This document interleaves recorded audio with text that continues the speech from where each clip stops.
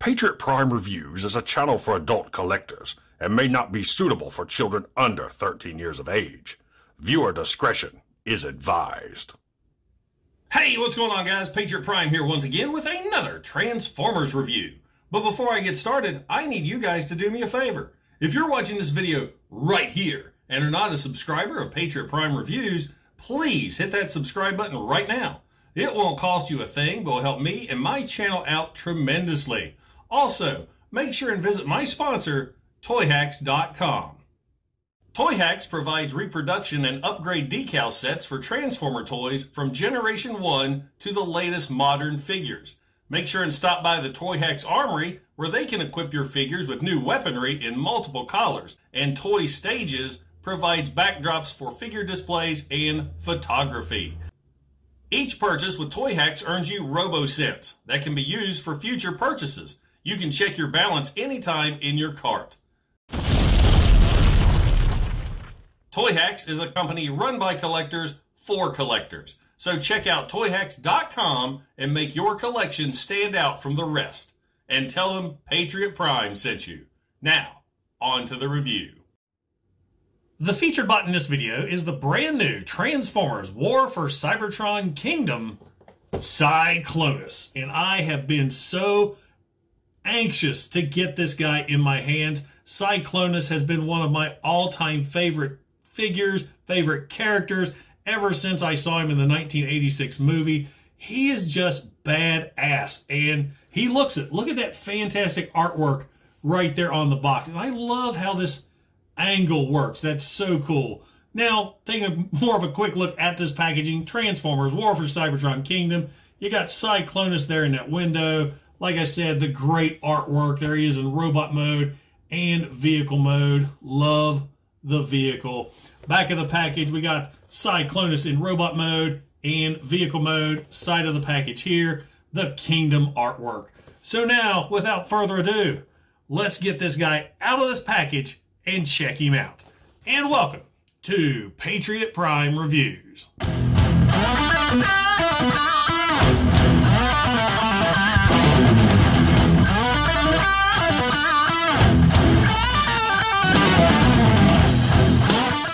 Now, once you get Cyclonus all opened up and out of his packaging, you'll see he does come with a sheet of instructions, and as usual, these are very well illustrated and very easy to follow. He also comes with a trading card. This one is the Autobot Ark on that nice holographic backing there. Of course, this is a sticker also. You peel off the front, which features the Ark flying through space to now reveal the Ark crashed into the side of Mount St. Hilary. At least I think that's what it's going to be called in this new fiction in 1984. Now, as I said in my Optimus Primal review, I love the fact we're getting cards now, but I wish we got cards showing the artwork from the package of the figure that we bought. I forget which series it was, maybe Combiner Wars that did that. I missed that. These are cool, but I want some cards of the awesome artwork on the package. Cyclonus also comes with his weapon. Now let's take a closer look at the figure himself. Now to quote my good friend and fellow YouTuber, Bert the Stormtrooper, I love this toy. I haven't stopped messing around with this guy since I picked him up last Saturday. This is a great Transformers figure. And he just looks amazing. He looks like he stepped right out of the 1986 movie. Great collars, great paint applications, great face sculpt, and some fantastic light piping. See that there? I love it when they can do light piping right on a figure. I mean, I just, I can't get over this guy. He looks amazing. And he's really big for a Voyager size figure. Here he is next to Leader Ultra Magnus. Just picked that guy up at Ollie's for 15 bucks. So yeah, great size, great sculpt. He looks amazing. Now, articulation, really good articulation for this figure. The head's on a ball joint, can look up and down. He does the head tilt. The head can do a complete 360. Arms can do a complete 360 as well, and they can go up and down. And I love the hinge right there. That is really cool. There is a bicep bend, a bicep rotation, and wrist rotation, but that is really, really tight. He also has a waist rotation. Legs can go up, back, in, and out. There is a knee bend and ankle tilt. So great articulation for this figure. And he cleans up so well. I mean, there is no backpack on him whatsoever. And if you look, no hollowness either. And you got your ports and pegs, but the only real hollow area on the guy is back here behind the thighs, but that's needed for transformation. Now, of course, he does have his weapon as well. Now, the weapon is painted silver over lavender. You can see where that's painted right there on the handle. But what's really neat, this weapon is specifically designed for Cyclonus. See how that blends perfectly? I love that. That is so cool. I dig it. That is a really cool look for Cyclonus. Love the weapon. Now, one complaint is these blast effect pegs. I've never really dug how they've had these pegs on figures pretty much since the Siege line. That's so you can take a blast effect here, peg it on, make it look like he's got shot. But I I really don't like that. I think they should have left those off Cyclonus. It kind of ruins his smooth look. But other than that, this figure is fantastic. Now let's go ahead and get him transformed into vehicle mode. We're going to take the weapon out of his hand. And since the hand's already done it, you're going to take the hand and flip it up like so. Rotate the fist around. It only goes one way, and I went the wrong way. Flip that around to reveal the thruster. We're going to do that on both hands, just like so. Went the wrong way on that one too.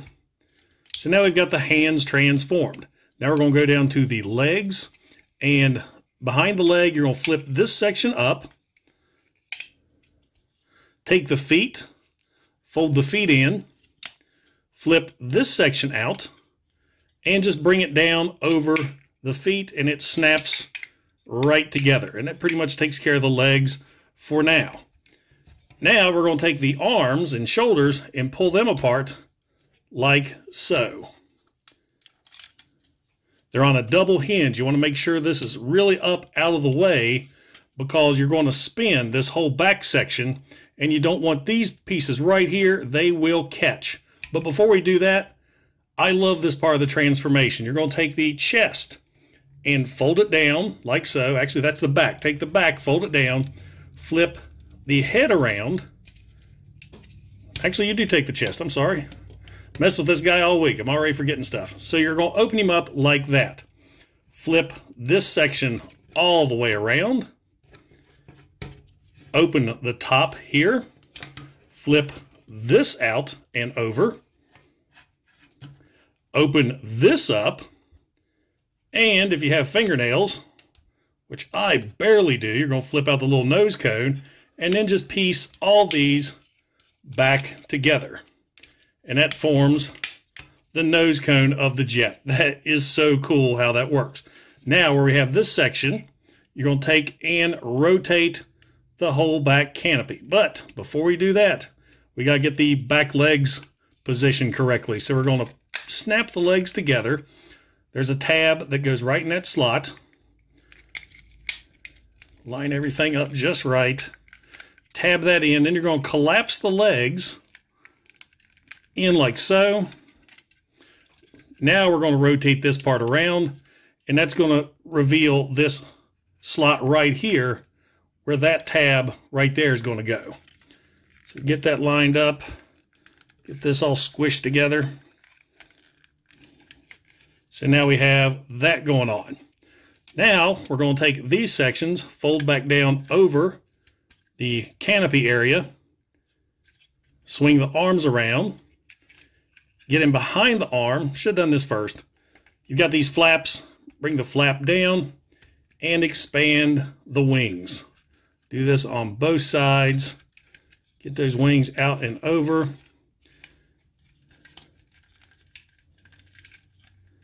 Rotate the arms so the tail fin's facing up. Bring the wing up. And there is a slot right there that'll match up with that tab. Tab that in. There we go. Do the same thing over here I should have done those wings first. Get everything lined up. Get your tabs matched up.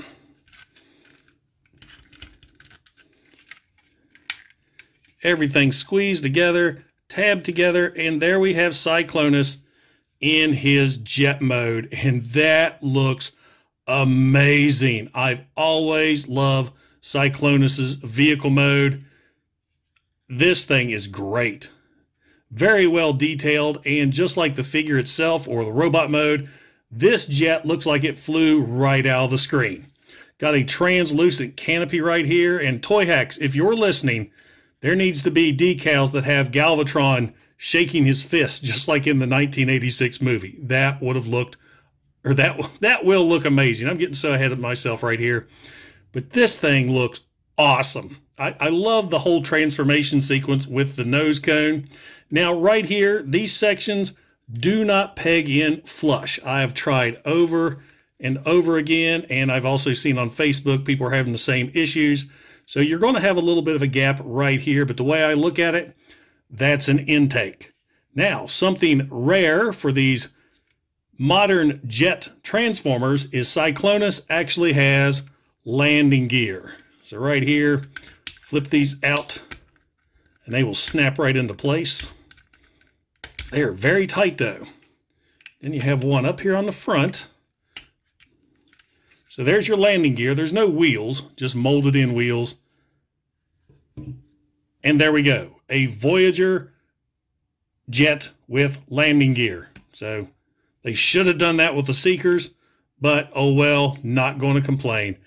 The vehicle mode tabs together great. There's not many gaps, not many spaces. The thing looks amazing.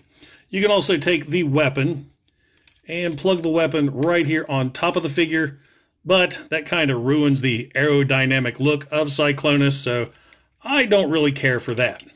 So now let's compare the new War for Cybertron Kingdom Cyclonus with his Generation 1 counterpart. Now, I can definitely see where some more Toyhax decals can come into play if you want to have your Kingdom Cyclonus looking more G1 accurate. But man, I love the looks of those two together. I just can't get enough of Cyclonus's vehicle mode. Been a fan of that since 1986. Now, I also forgot to show off something earlier on Cyclonus's waist. He has translucent plastic right here and here, which really adds a unique look to the figure. So sorry I missed that earlier. So there you go, guys. There's one final look at Cyclonus in jet mode. And now for some quick size comparisons. Here is Transformers War for Cybertron Kingdom Cyclonus with Generation 1 Cyclonus, Classics Cyclonus with Nightstick, Combiner Wars Cyclonus, and Combiner Wars Bombshell and Earthrise Skywarp. Let the debate rage on. Transformers War for Cybertron Kingdom Cyclonus is a great Transformer figure. He's got an awesome robot mode, awesome vehicle mode, very fun transformation, a solid figure. I mean, I have no complaints other than my two minor nitpicks, and those don't take away anything from this great figure. This by far is my favorite Transformer from the first wave of Kingdom, and I'm really hoping that Hasbro has now set the bar for these figures and we can only expect greater and greater things. So there you go, guys. Transformers War for Cybertron Kingdom Cyclonus. So, does a Transformers War for Cybertron Kingdom Cyclonus belong in your collection? Absolutely. I freaking love this guy. This is an amazing figure. Beautiful robot mode, beautiful vehicle mode, and I'm probably going to say one of the best Transformers I've bought retail in ages. This is an amazing figure, and to be honest, a steal at the $30 Voyager price. And he's a great size, too. You get some bang for your buck with Cyclonus. I couldn't be happier. I absolutely love this figure. You see this one on the shelf, you do not hesitate. You knock people out of the way if you have to to make sure and add this figure to your collection. Now, guys, if you enjoyed the video, don't forget to like, don't forget to subscribe, and don't forget to hit that bell icon to get notified when I upload new reviews. And make sure and stop by this channel tomorrow night at 9 o'clock, Friday, January 15th, where I'm going to be interviewing the one, the only Stan Bush. I am so excited. I cannot wait. And I hope to see all of you there because we're doing it live. Guys, once again, this is Patriot Prime signing out. Hooah!